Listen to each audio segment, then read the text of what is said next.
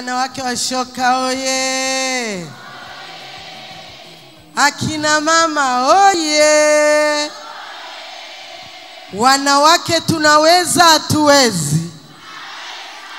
Kama tunaweza, jipigie makofi kwa sababu unaweza. Asante sana.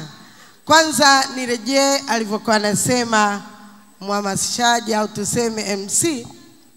Neno la kwanza ni kwamba ukiona mwanamume amefanikiwa, nyuma kuna mwanamke, na ukiona mwanamke amefanikiwa, ina maana nyuma kuna mwanamume wa soka pia.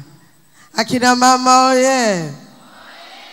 Kwa jina naitwa Asumta Mshama. Hapo nyuma nilikuwa mwenyekiti wa UWT wa wilaya ya Misenyi mara mbili. Nikatoka hapo nikawa mbunge wa jimbo la Nkenge, sio viti maalum, mbunge wa jimbo la Nkenge mkoa wa Kagera. Baada ya pale nimekuwa mkuu wa wilaya Kibaha tangu mwaka elfu mbili na kumi mpaka kumi na tano.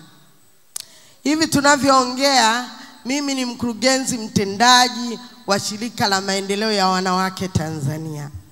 Kwa hiyo kwa hiyo nina shukrani kupata nafasi hii kukaribishwa na EFM kuweza kuongea na wanawake wa shoka.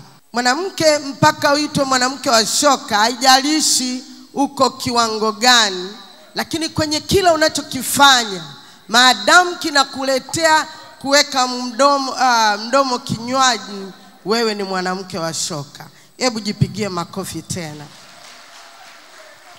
Mwanamke wa shoka elfu mbili ishirini na mbili ushindi pamoja.